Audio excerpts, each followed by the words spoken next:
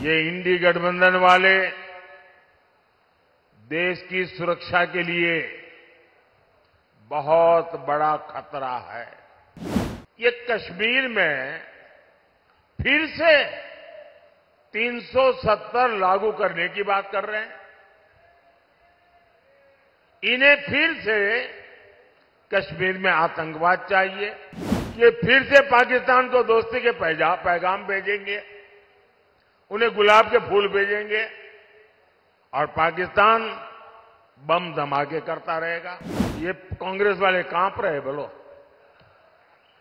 क्या ऐसे लोग देश चला सकते हैं क्या? ये इंडी गठबंधन वाले देश की सुरक्षा के लिए बहुत बड़ा खतरा है। आप देखिए, कांग्रेस का एजेंडा क्या है?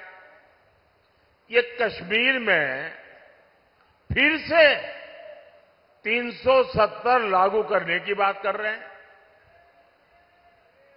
इन्हें फिर से कश्मीर में आतंकवाद चाहिए। इन्हें फिर से कश्मीर को अलगाववादियों को सौंपना है।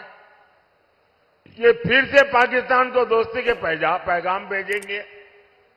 उन्हें गुलाब के फूल भेजेंगे। और पाकिस्तान बम धमाके करता रहेगा। देश पर आतंकी हमले होते रहेंगे। कांग्रेस कहेगी, कुछ भी हो, बातचीत तो करनी ही होगी। इसके लिए कांग्रेस ने अभी से माहौल बनाना शुरू कर दिया है। कैसे कैसे बयान ये अभी से देने लगे हैं? इनके नेता कह रहे हैं पाकिस्तान के पास एटम बम है। अब ये सुनकर के आपको हँसी आती है कि नहीं आती है? आती है कि नहीं आती आपको किसी को भी पाकिस्तान के पास एटम बम है, ये सुनकर के डर लगता है क्या? किसी को डर लगता है क्या? किसी हिंदुस्तानी को डर लगता है क्या?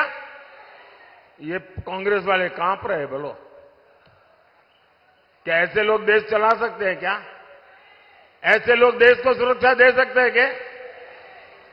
इनके लोग कहते हैं, पाकिस्तान से डर करके रहना होगा।